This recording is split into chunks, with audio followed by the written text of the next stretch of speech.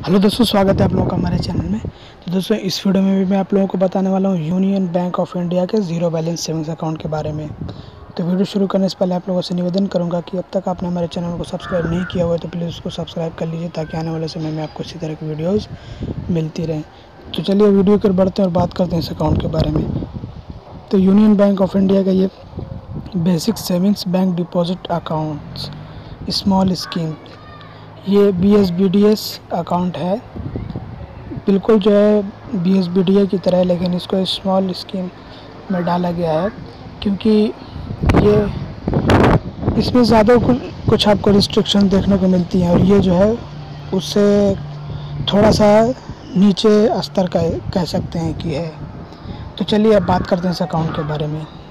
तो देखिए दोस्तों, इस अकाउंट को ओपन करना बहुत ही आसान है। आपको ज़्यादा ज़्यादा कुछ इसमें जो है डॉक्यूमेंट देने नहीं पड़ते हैं। यहाँ पे लिखा हुआ है कि मिनिमम डॉक्यूमेंट रिक्वायरमेंट यानी आपको कम से कम डॉक्यूमेंट की ज़रूरत होती है इस अकाउंट को ओपन करने के लिए। आपको सिर्फ़ एड्रेस प्रूफ और फोटोग्राफ की ज़रूरत होती है इस अकाउंट को ओपन करने के लिए। अब यहाँ पे देखिए टोटल क्रेडिट पूरे साल में एक लाख से ज़्यादा का नहीं होना चाहिए।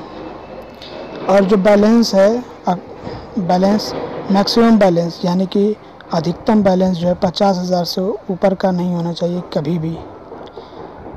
अब इसमें जो है डेबिट कैश के ज़रिए, डेबिट विड्रॉल्स या निकासी करना और ट्रांसफ़र, ये एक महीने में आपको सिर्फ़ दस हज़ार तक की इसमें लिमिट दी गई है। एक दस हज़ार से ट्रांसफ़र कर सकते हैं विड्रॉल कर सकते हैं।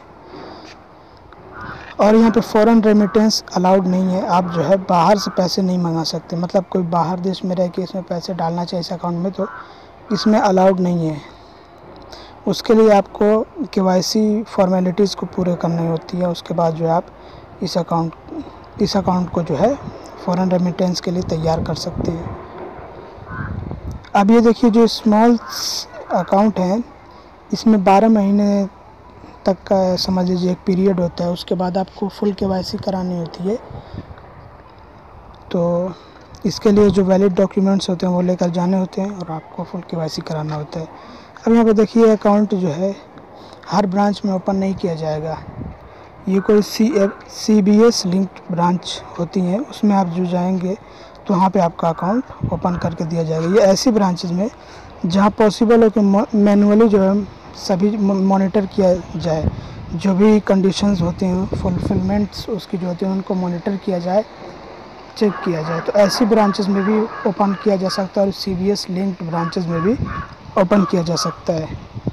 तो बस इस वीडियो में इतना ही। उम्मीद करता हूँ कि आपको ये वीडियो पसंद आई हो अगर आपको वीडियो पसंद है तो उसको लाइक कर दीजिए और हमारे चैनल को सब्सक्राइब कर दीजिए ताकि आने वाले समय में आपको इसी तरह की वीडियोज़ मिलती रहे। तो वीडियो देखने के लिए आप लोगों का बहुत बहुत धन्यवाद।